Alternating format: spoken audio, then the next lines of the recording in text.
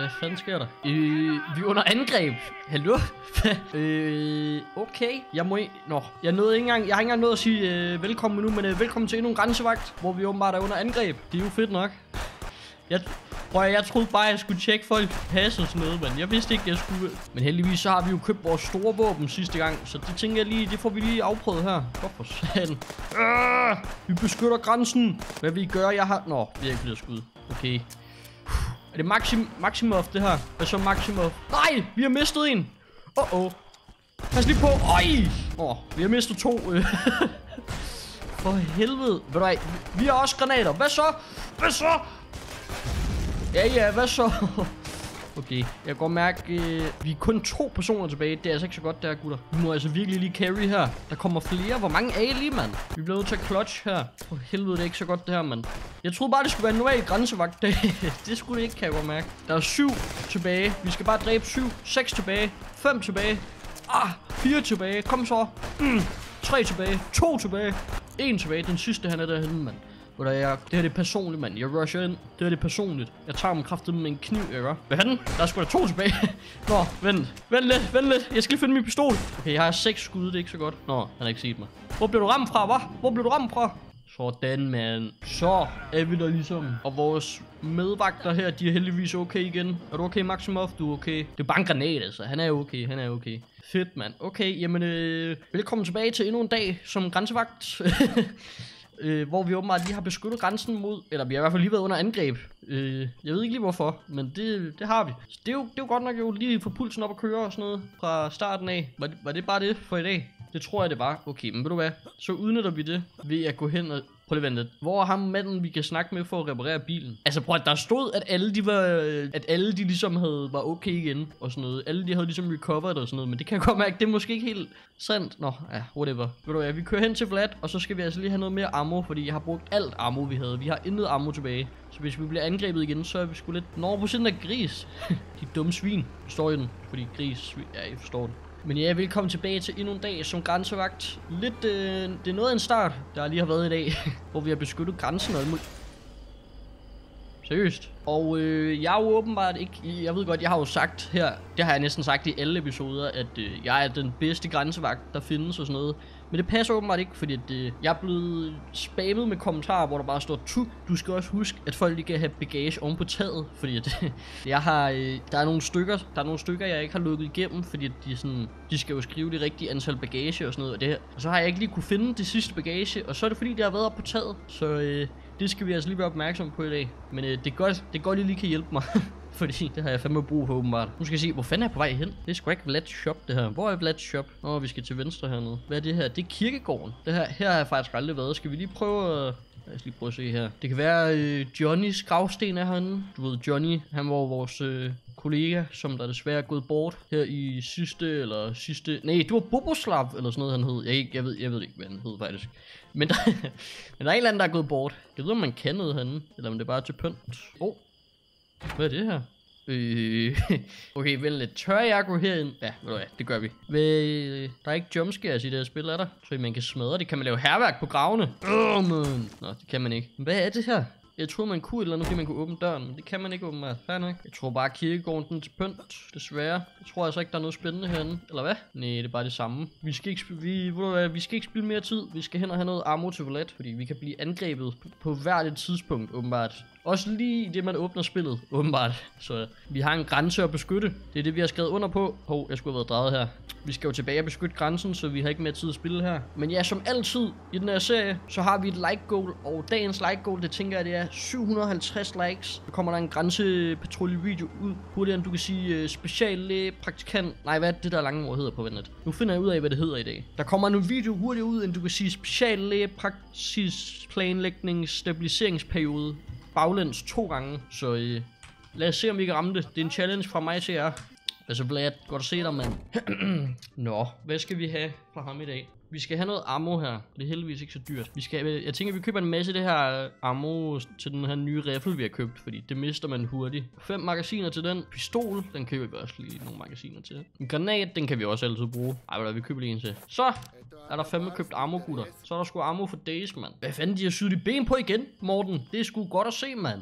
Fedt nok, fedt nok. Jeg troede sgu aldrig, du ville komme til at gå igen. Det så rimelig slemt ud. Hvordan får man til at reparere den? Morten, kan du ikke lige fikse den? Det er fandme i orden. Ved du hvad? Det har været en lang dag. Vi har beskyttet grænsen. Vi har... Altså, vi har... Ja, det er egentlig det. Så jeg tænker lige, vi går lige ind og ligger os lidt. Så, nå, tænder... Nej, ja. Så jeg har lige fået at vide i min øresnegl her, at øh, der kommer snart til at være OL, eller sådan nogle olympiske lege. Og derfor så skal vi ligesom vise os for vores bedste side. Det går også Maximov. Tag lige og øh, pus lige din badge, eller hvad fanden, jeg ved ikke, jeg ved, jeg ved det ikke. Men derfor så må vi ikke lukke biler igennem, som der ikke er 100% rene eller et eller andet. Nu skal jeg lige se her, hvad er det her? Ej, jeg kom til at trykke okay, jeg nåede ikke at læse, hvad det var. Nej, nej. Nå, ja, det finder vi aldrig ud af, hvad var. Hvad gør den egentlig? Den gør ikke noget.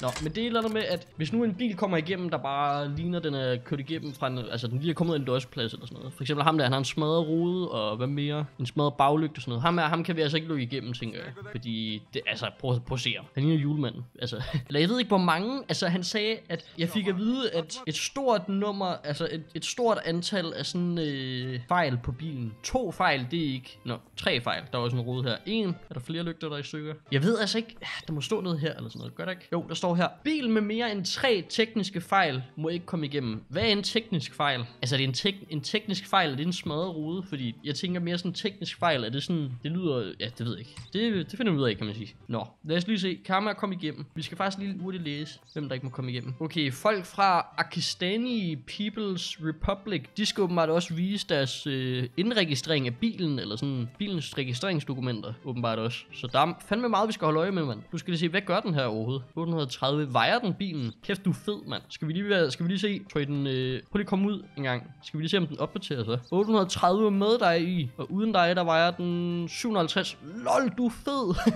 er så tykke? Åh, oh, ja, sorry. Øh, hvordan var nu, man gjorde? Okay, lad os se her. To smadrede vinduer og en smadret lygte. Det er tre fejl. Jeg ved altså ikke, at det var det mere end tre fejl, han skulle have. Mere end tre fejl. Så ham er, han, han er vel good to go, så det gør ikke noget. Han kommer fra Republic of Kakastan, og han skal simpelthen herind for at arbejde. Okay. Så har han otte kufferter, eller sådan otte ting til, i bagagen. Nu må vi se. Nu husker jeg lige det der på taget her. Nu tjekker vi lige det. Ja, jeg skal nok passe på det. Prøv at høre. Bare rolig. Jeg er professionel. Jeg skal nok passe på det. Slap nu af. Nej, det har jeg ikke. Sådan der. 8. Okay, jamen det matcher. Det stemmer, det stemmer overens. Nu skal vi lige se. Har du prøvet at smule noget igennem her? Nej, det hele det ser fint ud. Det hele det ser... Det hele det... Maximum, kan du lige få det hele tilbage i bilen en gang? Det hele passer her. Nu skal vi lige ud og se. Er der nogen slanger eller noget? Hmm. Prøver han at smule noget igennem? Hmm. Nej, det ser sgu fint nok ud. Jamen, så må du gerne komme igennem, tror jeg. Jeg ved ikke, altså, den ene her, er den her også i stykker? Eller hvorfor er den hvid? Jeg tror også, den der den er i stykker. Jeg ved ikke om han, så har han jo fire fejl. Kan du ikke skynde dig lidt? Jeg har travlt. Jamen prøv, prøv man, jeg tror ikke engang, du må komme igennem. Så jeg ved slet ikke, hvad du har så travlt for. Øh, nu skal vi se. Jeg tror fandme, det er en ekstra fejl. Ved du hvad, så tænker jeg, så må han ikke komme igennem. Okay, jamen så, så, så tror jeg sgu ikke, du må komme igennem. Nu ser vi. Nu håber jeg, det her det er, øh, nu håber jeg, det her det er en rigtig beslutning. Kom nu. Please. Sikke en dag. Jamen jeg er helt enig. Sikke en dag. Jeg er ked af det her. Nu er det sandhedens time, fordi det er nu, vi finder ud af, om jeg har fattet, hvad der foregår ordentligt, eller ikke har fattet. Nu skal vi se. Kom så. Jeg krydser fingre. Please, please, please, please, please. Please. Ja, okay, det er fandme i orden. Så er jeg ved det ligesom. Så bliver det en god dag alligevel. Så har jeg fattet, hvad, hvad, hvad jeg skal. Det er fandme i orden. Hold da op, en bil. Den ser jo, den ser jo egentlig fint nok ud, gør den ikke? Nu skal vi se. Der er ikke nogen smadrede ruder, der er ikke nogen smadrede lygter. Det ser jo... Okay, der er en slange der, så allerede der, der ved vi, at han prøver at smule noget igennem. Det er klart. Okay, okay, okay. Er der flere slanger? Der er også en slange der. Det er ikke så godt for ham. Og der også, oh my god, hvor meget prøver han at smule igennem? Lad os se her. Hvem har vi at gøre med? Vi har at gøre med en Arthur Vasiliev. Hvad så Arthur? Arthur og minimøjserne. Lad os se, det hele stemmer overens. Der står, at hans bil max må veje 1520 kilo. Hvad vejer den? Den vejer 1520. Åh, oh, det var fandme heldig. fedt, mand. Fedt. Nå, jamen øh, Arthur, hvad skal du ind i landet for? Du skal ind i landet for, at det står der ikke. Når han bor her. Hvad fanden? Du bor her, og så prøver du at smule ting igennem, eller hvad? Kæft, du skal skamme dig, Arthur. Du spilder bare min tid, vil du være, Arthur. Nu skal du tage og slappe af, okay? Jeg gør bare mit arbejde. Du finder ikke noget herinde. Slap nu af, mand. Hvorfor er det det? Nu kommer jeg lige med et tip her som øh, rutineret grænsevagt. Hvis man prøver at smule noget igennem, så skal man nok ikke sådan, du ved, blive aggressiv, prøve at skille sig ud og sådan noget, vel Arthur? Fordi så bliver jeg bare mere, mere mistænksom. Men ja, nu skal vi se, Arthur. Nå, lad os se, Arthur. Hvad har vi at gøre med her? Vi har noget øh, rensemiddel her. Det ser jo egentlig fint nok ud. Der er ikke noget. Nej, det prøv, prøv, der prøver han ikke at smule noget igennem. Hvad med her? Nope, det ser også fint ud. Poserne her, de, de ser jo også fint ud, faktisk. Det hele det ser fint ud med bagagen, men vi ved jo, at han prøver at smule noget. hvordan, øh, øh, hvordan får jeg noget, hvordan tjekker man sådan noget inde i bilen? Altså, skal jeg bare... Åh, oh, ja, det tror jeg. Hey, slap af, Arthur. Du skal ikke sige sådan noget til mig. Slap af. Nu skal jeg lige tjekke her. Jeg håber, jeg kan bruge en skovl til at tjekke det her. Så, Arthur, prøv her. Det er en del af proceduren, ikke? Nu tjekker vi bare lige her. Hvad så? Hold da kæft. Hvad er det? Åh, oh, det er ammo! Hvad satan? Ja, ja, jeg har noget ulovligt. Tag, nu, tag de her penge og lad mig gå. 410 dollars? Shit, mand. Det er altså mange penge. Nu skal vi lige se, hvad han mere har. Det kan være, han har noget... Hvor du er, Arthur, du kan... Det der beløb der, det er slet ikke nok. Fordi jeg har jo... Altså, prøv at... Jeg har jo... Har jo slet... Altså, det er jo ikke engang det hele, jeg har fundet nu. Det er max... Altså, det er mindst det dobbelte af det, jeg skal have for at lade dig gå. Nu tjekker vi lige her. Hvad så hvad med det her dæk her? Nu ser vi lige. Nej, det er måske ikke en kniv, man skal bruge, eller hvad? Hvor meget... Hvor mange våben har du lige? Nå, der var flere våben, var Arthur, er der også noget her? Hvad med egentlig med sådan under sædet? Har vi tjekket det? Nej, det ser også fint ud. Har vi tjekket sædet egentlig? Kan jeg lige se med sædet her? Nå, nej, det ser fint ud, kan jeg se, Arthur. nej, der var ikke noget. Nå, fair nok. Hey, der er noget i sædet her. Hvad fanden? Lad os se, der er også våben. Hold da kæft, hvad fanden? Altså, der er godt nok nogen Arthur, han er sur på. Der er også noget her. Ja, ja. Nå, han er så... Arthur, du har ikke engang prøvet. Hvorfor, hvorfor Arthur? altså sådan, det der med at gemme tingene i sæderne, det kan jeg godt forstå. Men hvorfor i handskerummet? Han havde ikke troet, vi bare lige kunne åbne her. Nå, fair nok. Nå, Arthur, var det det hele? Det var godt nok mange våben. Arthur, øh, jeg ved sgu ikke lige helt. De der penge der, nej, dem vil du ikke tilbyde mig længere. Nej, okay. Nå, jamen Arthur, for helvede, de kriminelle møgsvin. Prøv du bare at smule ting gennem øh, over grænsen til dit eget hjemland, hva'? Skal du have en, skal du have en, øh, din kæmpe spade, mand? Åh, oh. Det så du ikke, Maxima. Arthur. Nå, vi må heller lige se, hvad han har på sig. Har han noget spændende på sig? I skal ikke lige tage af det her. Prøv lige... Prøv lige... For helvede... Arthur. Arthur, det ser ikke så godt ud, det her. Vi skal vise os fra den bedste side. OL. Der er, kraft... der er mange turister. Der er OL for helvede. Arthur, kom her. Øh, kom her, Arthur. Fik vi skaffet os af med ham? Eller jeg mener, nej, kan jeg vide, hvad der skete med Arthur? Han, blev, han forsvandt bare, mand. Hvad fanden? Hvad skete der der? What? Hvor mærkeligt. Kan vi lige få øh, fjernet Arthurs bil? Er den væk? Sådan. Nå, Jamen, øh, jeg kan godt mærke, at øh, jeg kan godt mærke, at efter den her vagt, så skal vi lige hen med alle de her ting, vi har konfiskeret og sælge dem, fordi det tror jeg altså, vi kommer til at tjene rimelig mange penge på. Hold da op, jeg havde helt glemt, at vi havde alle de her herinde. Okay, vi kommer til at tjene rigtig mange penge. Det her, det bliver fedt nok. Det bliver fedt, man. Det er fedt. Næste. Når han holder allerede. Kan jeg lige se noget papir her? Yes, sir. Min bror har farve-tv. Alle naboerne kommer forbi for at se OL. Ej, hvor hyggeligt, mand. Fedt nok. Farve-tv. Det er fandme nice. Nu skal vi se her. Det er Oleg. Jamen, Oleg, det kan jeg godt forstå, du glæder dig til. Du bor her jo også, Ulik. Du, du er også fra Akkerstan, står der her. Nu skal vi se. Passer det hele her? Han virker så sød, ham her. Jeg håber ikke, han prøve at smule noget. Det er så sødt, det der. Nu skal jeg se. Hold da kæft, du har mange ting. Hvor mange ting skal du lige have med? Hold da op. Okay, det skal vi lige tjekke igennem, kan jeg godt mærke her. Vær forsigtig med tingene. hvor du slapper af? Det skal jeg nok. Det skal jeg nok. Prøv at bare tænk på din brors farve-tv, mand. Prøv at tænk på det, mand. Hvorfor skal du bruge to komfurer? Hvor meget mad skal du bruge? Øh, eller lave hedder det. Ej, han har en smadret baglygte. Det er ikke så godt. Det er en fejl, vi skal skrive ned allerede der. Ej, jeg håber ikke, jeg skal afvise ham her. Det er seriøst, det er synd. Han var så glad. Han skal bare hjem og se sin brors farve-tv. At se ham. er det der en smadret lygt? Det er det, fordi den jo... Ej, for helvede. Please ikke have flere smadrede ting, så bliver jeg sygt trist. Jeg vil ikke have, jeg vil ikke, jeg, jeg vil ikke skulle sige nej til ham skal vi se, på at smule ned herinde? Nej, det ser sgu okay. Så nu skal vi lige tjekke alle de her ting igennem her. Det er ost, det her. Nej, hvor fint. Hvorfor har han ost nede i sådan en... Øh... Hvorfor transporterer ost i sådan en kæmpe kasse? Sådan en sikret en. Det må være en meget dyr ost. Men det hele, det ser sgu fint ud. Der er ikke nogen slanger på noget af det. Ingen slanger på blokken, som man siger. Der er sgu... Der er, er helt clear her. Så har han også noget radioaktiv affald. Okay. Fedt nok. Ost og radioaktiv affald. Noget af en øh, kombi. Det hele ser fint ud. Nu skal vi lige tælle her. Radioaktiv affald, gas range 3, ja, og toilet 1. Ja, super. Det hele ser fint ud, mand. Det er fedt. Fordi jeg havde altså ikke, jeg, har, jeg havde ikke lyst til at afvise ham der. Han var så sød. Vil du være Ole? Hov, oh, nej, vi skal sgu da lige veje bilen og tjekke. Kan du ikke lige gå ind igen? Vi skal jo veje bilen uden. 2660. Uff, det er godt nok tungt. Nu skal vi lige se, hvad har han lov til? Åh, oh, han har kraftet mig lov til at køre i det. Det er fandme i orden. Ved du hvad, Olaf? Det hele, det ser sgu fint ud. Til Akkerstad. når nej, du bor her. Velkommen tilbage. Han god dag i lige måde, mand. Jeg, det bliver bare me mega fedt, det der OL og sådan noget på farve-tv og sådan noget. Hej hej. Nå, der kører han. Nå. Nej! Han måtte ikke have kommet ind. Nej. Nå, ja. Ved du hvad? Jeg tager det. Jeg mistede 130 dollars på det der, men det er helt i orden. Han var så sød. Jeg kunne ikke lade være med at lukke ham ind. Jeg ved ikke, hvorfor han ikke må komme ind, så det er lidt noget lort. Så har vi ham her. Hej hej. Stikker den op til dig også. Kan vi lige... Det her, det her, det er Saman Toprak. Hvad står der? Toprak. Saman, Saman, Saman. Din bil må veje 20, 2030 kilo. Skal vi se, hvad vejer den? Hey, det var fandme heldig. Øh, han er turist. Han skal ind i landet, fordi han er turist. Hvorfor har du så taget en ko med?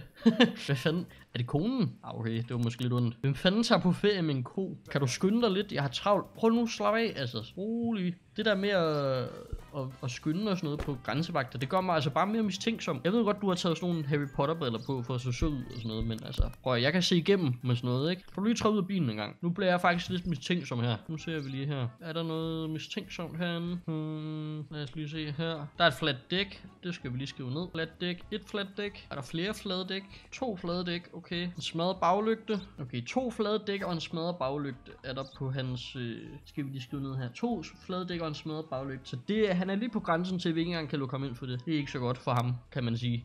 Men øh, lad os se her. Vi skal jo lige tjekke konen her, om du har prøvet at smule noget ud med den. bare være forsigtig med den. Ja, ja, bare roligt, det skal jeg nok. Men han, må, han, han, må, han måtte ikke komme igennem eller sådan noget. Jeg forstår ikke. Han havde jo egentlig den der ene en. Han havde jo den der med, at han manglede sådan en her. Så jeg ved ikke, om vi må komme igennem, faktisk. Nu skal vi lige se, hvad var, hvor stod der han var fra. A wanted Uberankov, som undslap en politi, politijagt Karikatsen Karikatka. Hvad, hvor skal du hen egentlig? Nu skal vi lige se. Jeg ved ikke, om jeg må lukke ham igennem. Jeg tror godt, jeg må lukke ham igennem, faktisk. Ved nu prøver vi bare. Eller, nej, hvad nu prøver vi bare. Vi har ikke rigtig fundet noget på ham. Så jeg tror godt, vi må lukke ham igennem. Jeg ved det faktisk ikke helt, om jeg må lukke ham igennem. Han mangler sådan en her. Eller vent, nej! Du må sgu da ikke komme igennem. Du mangler jo sådan en der, så det er fire ting, der er galt på din bil. Hey, hey, stop, stop, i lovens navn. Ud, ud af bilen. Hey, hey, her. Hey, stop i bilen her. Hey, hallo. Hvordan går... Ah! Hvad? Jeg skyder hans ko så. For helvede, altså. Ej, hvor det irriterende, at jeg lige kom i tanke om det. Nå, er det fandme nederen? Nå, ja ja. Hold op, det ser ikke helt sikkert ud, det der. Prøv at overveje at køre bag ham her, og så bare et toilet, der bare flyver ind i ens bil. Det virker ikke helt sikkert. Hej hej. Goddag her, det er Vadi Sakir. Nå, goddag Vadi. Nu skal vi se. Din bil, ui, okay. Jeg tror, det er første gang, hvor der ikke er nogen af forlygterne, der er smadret på en af bilerne. Så det er sgu da meget fedt. Hvad med, hvordan ser baglygterne ud? Nej, det hele er jo helt clean her. Det er fandme, det er fornemt. Nu skal vi se, hvordan ser det ud her. Det ser også helt i orden ud. Lovlydige borger, vi har med at gøre med her. Nu skal vi lige se, kan du ikke lige træde ud en gang? Nu skal vi se det her sæde her. Er der noget her? Nej, det hele ser fint ud. Nu skal vi jo lige tjekke. Hvis han er 39, så må vi jo ikke, så skal vi jo lige være lidt... Han er 33, og det var godt. Øh, det hele det matcher. Og vi skal egentlig lige have tjekket øh, vægten på hans bil egentlig. Lad os se her. Nu skal vi først lige tjekke de her toiletter her. Det ser fint ud. De var ikke brugt. Det var fandme heldigt. jeg tror, han er good to go ham her. Jeg tror, han er good to go. Øh, vi skal bare lige være opmærksom på... Prøv lige at gå tilbage i bilen en gang. Vi skal lige veje den. Nu skal vi lige veje bilen her. Hvor meget vejer den? 1370, og det må maks veje 1580. Jamen, det ser helt fint ud så. Ved du hvad? Alting, det er som det skal være. Det tror jeg faktisk, det er første gang, at der er en, der har haft alting, som det skal være. Så jeg tænker, ved du hvad? Velkommen til Akkerstan. Jeg håber, øh, du nyder OL, og øh, den der, den er overbevist om, det var det rigtige. Yes, det var det også. Det var fandme i orden. Sådan, mand. Endnu en øh, succesfuld dag. Det er fandme i orden. Nu vil jeg gå ind i min campingvogn her og øh, lægge mig til at sove. Øh, godmorgen. En ny dag på arbejdet. Det er fandme... Det er fandme i orden. Hov, ej, jeg er dum. Jeg glemte sgu da, at vi skulle køre øh, hen med alle de ting, der ligger i lageret her. Det skal, vi da, det skal jeg lige huske, efter vi lige har tjekket alle dem her i dag. Det kan også være, at vi skal køre med ham her, egentlig. det kan også være, at vi skal køre hen og aflevere ham her. Er du sulten? Hvor længe har du været herinde? Fordi jeg, har, jeg kan slet ikke huske, at... Øh, Nå, okay, der kommer en hvid bil, så den skal vi lige være lidt ops på. Og han har en... Øh, det var under en grim gris, det der. den ser helt rynket ud. Hvad fanden er der galt med den? Det der, det ligner sådan ens øh, hud, når du har været sådan i badekar i alt for lang tid, og din hud bare er helt rynket, eller sådan noget. Nå, det kan være, jeg skal være med dis hans gris mere. Lad os se. Det kan være, han er meget glad for den. Lad os se her. Hov, der er et, øh, der er et opkald. Prøv lige at vente lidt. Jeg har lige fået et øh, vigtigt opkald. Vent lidt. Det skal vi lige hurtigt hen og se her. Hvad er det her? Ja, hallo, det er Grænsevagt Mogens. Der er fundet et lig. Der er fundet et lig som vi åbenbart skal tage hen og opklare. Hvorfor skal jeg det? Jeg troede, prøv, jeg troede bare, jeg var grænsevagt. Hvorfor er det, jeg skal... to sekunder her, jeg skal, jeg, der, jeg skal lige pisse. Okay, to sekunder, to sekunder. Nu skal vi lige skynde os, så ham der, han ikke skal vente for lang tid. Hvorfor er det... Jamen det er jo så fordi, at vores øh, leder der, han var korrupt. At så, det var ham, der plejede sig at tage, sådan nogle, tage sig af sådan nogle sager. Så det er os, der gør det nu, åbenbart, af en eller anden grund. Hey, var det ham, som der har holdt og ventet på grænsen? Som der kører foran? Det håber jeg ikke, fordi ham, ham havde ikke løbet igennem.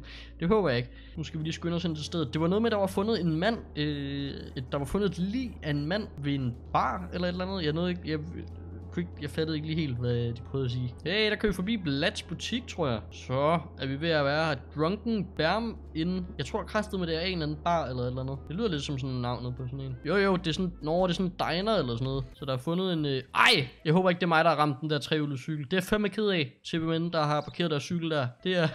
Nu skal vi lige skynde os op og se her. Hej hej, hvad sker der her? Lad os lige gå ind og se. Nej, og der sidder fandme mennesker herinde, som der ikke aner, at der er blevet fundet en død mand herinde. Hej hej, hvad, hvad så? Hvad er status? Hvad er status?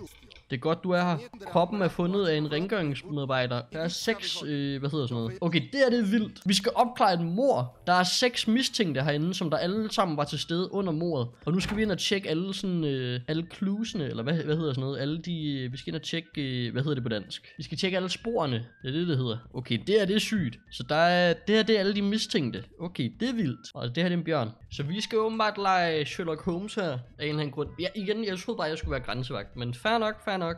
Nå, lad os snakke med ham, der er cleaneren først, tænker jeg. Det må være den vigtigste at snakke med. Hej hej. Er det dig, der... Øh... Nu skal vi se her. Hvad, ske... Hvad skete der her? Har du fundet noget mistænksomt, spørger vi ham om. Det var mærkeligt. Da jeg prøvede at tage skraldet ud, så var varehusdøren låst, og nøglerne var væk. Jeg gik om bagved og fandt kroppen. Tidligere så jeg, at der var ham, der var død. Han var oppe og slås med en, mens de et eller andet med nogle kort, spillede kort. Nå for satan. Okay. Hvem var, hvem var han oppe og slås med? Det kan du ikke huske? Nej, okay. Han sagde et eller andet med Berit eller sådan noget. Så lad os lige se. Hvis der er en, der hedder Berit, så er det sgu nok ham. Okay, det er weird nok. Hvem er det her? Det er Nikita. Hej Nikita. Hvad skete der? Har du, se, har du set noget eller noget? Vi var her for at fejre Oliks forfremmelse. Vi har arbejdet sammen i 10 år. Jeg kan ikke... Nej, jeg kan ikke fatte, at han er død. Nej, Oleg er død. Jeg er sikker på, at det er ham der, Sahayev, der har dræbt ham. Oleg, han havde meget gæld at betale til ham. Okay, hvem er det? Er det ham her? Salahik? Nej, hvem var det? Hvem er Salahik? Er det ham her? Salahik? Salahik? Hedder du Salahik? Nej, okay. Ej, det er synd, at han er død. Så han er, han, de skulle fejre, at han havde været ansat i 10 år, og at han var blevet forfremmet eller et eller andet. Nej, de, hvad fanden, de havde arbejdet i 10 år, og han var lige blevet forfremmet, og de skulle fejre det. Og så kommer han op og slås med en, nu er han død. Nej. Nå, lad os se ham her. Hvad, hvad med ham med Timur? Hvad så? Har du set noget? Drengene, de har tvunget mig til at tage afsted her. Jeg, det var meningen, jeg skulle blive hjemme med min far. Han har været syg lang tid. Jeg finder ham der rengøringsmanden meget underlig. Eller meget mistænksom. Hvorfor, hvorfor gør du det? Jeg nåede ikke lige læse. Okay, så ham der rengøringsmanden, han, er, han, finder, han synes, han er lidt mistænksom. Fordi han har bare kigget på dem hele aftenen og har, du ved, sådan aflyttet dem lidt. Lyttet til deres samtaler og sådan noget. Okay, det er lidt vildt. Hvad så med ham her? Hvad så? Hej Vasil, har du set noget? Okay, så ham er han sagde et eller andet med, han var blevet smidt ud af ham der Oleg, eller et eller andet. Oleg, han, et eller andet med ham, som der gjorde ham her sur, og så sagde han, der havde jeg bare lyst til at dræbe ham. Så det er lidt vildt at sige, øh, nu hvor han er død, til en, som der er herinde for ligesom at undersøge det. Og så sagde han, at ham der, han var lidt mistænksom, men ham har vi snakket med. Så snakker vi lige med ham her, hvad så? Hvad med dig? I går der drak vi alt for meget for at fejre det. Ulrik han var så glad for hans forfremmelse, og han ville betale noget gæld til mig. Jeg har ingen idé om, hvem der ville have, at Ulrik han skulle være død. Nå, altså det hjælper jo ikke så meget, kan man sige. Hvad så med ham her? Hej, har du set noget? Der er sket ikke noget specielt, indtil ham rengøringsmanden han kom tilbage for at fortælle mig, hvad han fandt. Han var øh, bleg som et spøgelse. Nå, nå for satan. Jamen det er jo ikke så godt, kan man sige. Nu skal jeg lige se her. Hvor var det, I fandt ham? Kan vi lige se det? Hvor er, altså, hvor er det, I har fundet ham henne? Hvor er kroppen? Det var ude bagved, eller hvad? Nu skal jeg lige se. Er det... Mente de det sådan bogstaveligt talt om bagved? Eller, eller hvordan? Nå. Nå. Nej, Oleg. Nej. Nej, prøv at se ham. Nej, det er synd. Han var her bare for at fejre sin forfremmelse. Nu er han død. Nej. Nå, lad os lige søge kroppen her. Har han noget på sig? Han har et ur på sig med initials. Hvad er det nu, det er? Med is- initialerne VM. Altså, det, det er jo så en, der hedder for eksempel Victor Mortensen. Så er det, står der VM, du ved. Det er forbogstaverne i hans navn. Lad os lige se det her. Så han har et ur her, der står VM på. Ved vi, hvad der er sket? Har du, har du set noget her? Stakkels dreng, han har været herude i et par timer. Jeg synes, vi skal søge hans krop og finde mordervåbnet. Det er godt, du har en UV-lygte med dig. Nå, jeg skulle Hold da kæft. Øh, pas lige på, hvor du træder. øh, lad os se her. Åh, oh, der er fodspor. Okay, så gerningsmanden, han er gået herhen. Okay, nu, følger, nu følger vi lige efter her. Han er gået herhen. Så er han nok smidt mordervåbnet et sted herhen. Hvorfor er han gået herhen? Hvorfor er han ikke sådan gået den der vej? Kæft en idiot, mand. Hold da op, han er gået langt væk, altså. Hov, der ligger en kniv her. En køkkenkniv. Den kommer nok fra køkkenet. Eller, Ja, det giver lidt sig selv. Nå, for satan. Nå, okay, nu skal vi lige hen og snakke med ham her. Sergeanten her, og sige, hvad vi har fundet. Hallo, sergeant, sergeant. Vi har fundet øh, en køkkenkniv, og... Øh... Nej, hvad? Hvorfor? Så jeg kan lade nogen gå. Så jeg kan lade Sahayev og Morin gå. Jeg ved ikke, hvem det er faktisk. Det kan være, vi lige skal ind og finde deres navn. Så vi kan lade to gå af gangen. Øhm, jeg er helt væk lige nu. Hvordan fanden skal jeg vide, hvem der er hvem? En, der starter med V og slutter med M. Eller en, der, hvor hans navn starter med V. Vasil Morin. Nå, det er sgu nok ham her så. Det er ham her ur, vi har fundet på ham. Men jeg, altså, jeg forstår det ikke. så det er nok ham, der har gjort det, tænker jeg. Men jeg forstår ikke, hvorfor vi skal, vi skal lade nogle andre gå så. Altså, jeg tænker, det er sgu nok ham her, og ham her, eller ham her, og ham her. Tænker vi ikke det? Fordi de, de der to, de sagde eller noget med, at de var sådan... Nej, jeg ved det ikke. Vi lader, uh, vi lader i hvert fald ikke ham her gå. Hvad hedder han? Han hedder Vasil. Så Vasil, han skal i hvert fald ikke gå. Jeg tænker, det er i hvert fald ikke uh, bartenderen, tænker jeg. Han har sgu nok ikke noget med det at gøre. Så den mulighed, hvor vi kan lade ham gå. Petruski og bartenderen. Hvem er Petruski? Er det ham her? Nej, hvem er Petruski? Nå, det er ham her. Nikita Petruski. Nå, det er hans Nå. Ja, det er sgu nok ikke ham. Petruski og bartenderen, de er uskyldige, siger vi til dem. Dem lader vi gå. Nu er det spændende, om det var det rigtige. Okay. Okay, vi har lidt problem nu, og det problem det er, at øh, jeg nåede altså ikke at læse alt det, han sagde, men han sagde et eller andet med, at nu har vi jo, nu har vi jo lavet, lavet de her to gå, og så øh, har efterforskerne, der har efterforsket mordet her, de har fundet ud af, at mordet det skete klokken 7 AM. Og så nåede jeg ikke at læse mere, og det er fandme et problem. Og jeg kan ikke få dem til at gentage det, fordi så siger han bare alt det der, han sagde allerførst. Det er lidt noget lort. Jeg troede bare, jeg skulle være grænsevagt. Altså, jeg troede ikke, jeg skulle rende rundt og lege Sherlock Holmes her. Hold kæft, det er svært det her. Jeg aner ikke, hvad jeg skal nu. Hvorfor skal de også snakke så hurtigt, altså? Nu prøver vi lige at gå tilbage her. Locate the venue in the garden area. Garden area? Vent, der står, hvad jeg skal. Hvad er en gar Hvor er garden area? Er det herhen? Så jeg skal finde et eller andet her. Et eller andet med, at de ikke kunne have nået langt. Eller et eller andet, sagde han. Lad os se. Er det her? Det er nok her. Hold da op. Åh, oh, det er her, at øh, der har været noget slåskamp eller sådan noget, kan man se. Der er i hvert fald ting, de ligger lidt ud over det hele. Eller, det ved jeg ikke, om der har været slåskamp. Lad os se. Jo, det tror jeg. Det hele det ligger sådan lidt huller til buller her. Lad os lige se. UV-lygte her. Hvad med sådan at tage fingeraftryk på den her kniv, som jeg fandt? Kunne det være en mulighed? Nej, okay, nej. Jeg skal bare rende rundt og lege Sherlock Holmes. Det er fint. Det er fint ham her herhen, som der er hovedmistænkt. Nej, det er sgu da ikke ham, der er hovedmistænkt. Hvor fanden er ham den hovedmistænkte? Nå, Varil. Hvad lavede du klokken 7? Vi sad ude i øh, den der, vi sad derude ved den der, og så løb vi tør. Timur, han gik ind til baren for at hente en flaske, og Oleg, han gik på toilettet om bag bygningen, fordi den indenfor den var låst. Jegur, han faldt i søvn, og så var han alene sammen med Nikita. Okay, okay, okay, så det er hans forklaring. Nu skal vi se. Så han var alene sammen med Nikita. Nå, Nikita, han, øh, ham er lavet gå. Det er ikke så godt. Øh, nå, hvad så med ham her? Hvad lavede du klokken 7? Jeg gik ind for at hente den der flaske. Jeg så ham der rengangsmanden, han gik om bag bygningen. Han lignede, han prøvede at gemme noget under sit tøj. Okay, ham der enten ikke, så hvis ham der han snakker sandt, så er det jo helt klart ham der. Men jeg føler lidt, at ham her, ja, det er 100% de her to, der har gjort det. Fordi ham der, han prøver hele tiden at skylde skylden på andre. Og før, der prøvede ham her at skylde skylden på ham der. Der sagde han, kan I ikke huske, der sagde han sådan et eller andet med, hey, du væltede en stol. Hey, hvad fanden? Men han sagde et eller andet med, at han opførte sig også mærkeligt. Nå, ja, ja. Nu skal vi lige høre, hvad lavede ham her klokken 7? Hvis han siger, at han var gik om bag bygningen, så må de jo snakke sandt. Nu skal vi se. Da gæsterne de forlod, så lavede de... Jeg gik ud for at få en cigaret, da jeg så en af gæsterne gik om bag bygningen. Jeg tror, de kaldte ham Timur. Okay, så han så... Det er det Timur. Okay, så det er 100% en af de her to, der har gjort. Okay. Ja. Hvad med ham her? Hvad lavede du klokken 7? Om morgenen Timur foreslog, at vi gik udenfor. Jeg nåede slet ikke at gå derhen, før jeg blækkede ud. Da jeg vågnede, så var Oleg ikke længere ved bordet, men vi drak bare videre. Nå, ja, okay. fair nok. Sygt nok bare at drikke videre, mens ens ven er forsvundet. Okay, fair nok. Øhm, det virker jo sådan lidt mistænksomt, men ved du hvad? Jeg tænker, ham her og cleaneren, de er... Øh... Nej! Vent, hvad? Timur og rengøringsmanden. Vi kan vælge at lade Timur og rengøringsmanden gå, eller at lade ham her, eller lade de to andre gå. What? Ej, det er mærkeligt, fordi jeg havde jo tænkt, at det var ham her, og øh, hvor fanden er ham den anden? Ham her, de her to, og så ville jeg lade de her to gå, men det kunne jeg ikke. Så ham her er åbenbart også med, ved du hvad, det giver også god mening, fordi hvis, hvis ham der Oleg, han skyldte jo ham her penge. Ved du hvad, jeg tror kraftet med Timur, han øh, snakker sandt. Jeg tror kraftet med, eller vent, nej, Timur, prøv lige vent, nu skal de lige prøve at sige her. Ham her, han prøver at skylde skylden på, på ham her, cleaneren her. Okay, vent lidt, så enten så kan, kan vi lade ham her og cleaneren gå, men hvorfor prøver ham her at skylde skylden på cleaneren? Det forstår jeg ikke. Ej, gutter, hvorfor er det mig, der skal vælge sådan nogle beslutninger? Altså, så vi kan lade Sahayev og Morin gå. Hvem er Morin? Morin, det er jo ham her, ikke? Jo, og ham her. Jeg tror altså, det er dem her to. Selvom det er mærkeligt, at ham der han prøver at skylde skylden på andre hele tiden, så synes jeg, at det, de her to, det giver bare mest mening, at det er dem, fordi ham her, han har et, altså de her to, de har et motiv. Ham her, han, vi fandt ham hers ur. Han skulle, han, det var ham, hvor han skulle penge til. Så det giver bare bedst mening, at det er de her to, ikke? Men ham her, og ham her, han gik ind, ham her, han gik ind for at hente mere, og så, så han var her ikke. De her to, de var derude. Ham der, han siger, han blækkede ud, og han kan ikke huske det. Og ham her, han, jeg kan ikke engang huske, hvad han sagde. Hvad sagde han? Nå, at det at han bare var der. Okay, så ham han siger bare, at ham han faldt i søvn, og at han var alene med Nikita. Ved du hvad, vi tager en chance. Vi lader ham der cleaneren og ham der den anden gå. Jeg håber ikke, at det er den forkerte beslutning. Jeg håber ikke, det er den forkerte beslutning. De har endelig åbnet varehuset. Nu kan du kigge rundt derinde. Varehuset? Hvor fa- Hvad for en varehus? Altså om bagved. Lad os se herinde. Hvorfor skal jeg herind? Det fatter jeg. Oh! Morderen fik dig. Du lavede den forkerte beslutning. Nej! Reloader checkpoint. Nej, hvem var morderen? Ej, okay, vent. Okay, så, men så er det jo dem... What? Så det, så det er de her to. Så det er øh, ham her og rengøringsmanden, der gjorde det. Okay, det er sygt. Så de her to, de var mis mistænkelige, eller hvad? Eller de var øh, innocent, hvad hedder det? Okay, nu prøver vi lige at gå derud. Nu ser vi. Så det er de her to, som der er morderen. Rengøringsmanden. Ja, nu ser vi. Nu ser vi. Nu går vi herud her. Jeg fatter slet ikke. De har slet ikke nævnt noget med et varehus. Vi skal søge det. Hov, Commander. LOL. Hvad står der?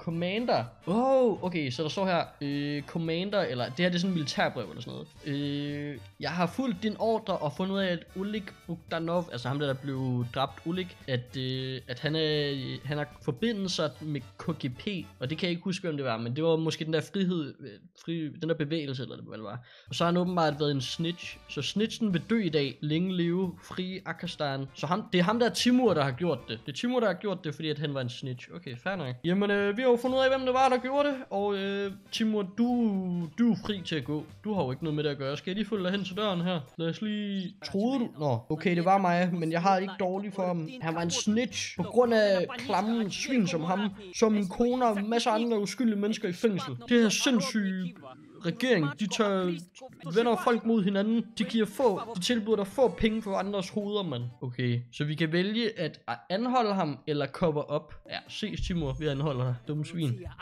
Revolutionen er allerede begyndt, du kan ikke stoppe os. Luk røven, Timur. I desperation tager Timur en kniv, som han havde gemt under sin sko, og svinger den mod dig.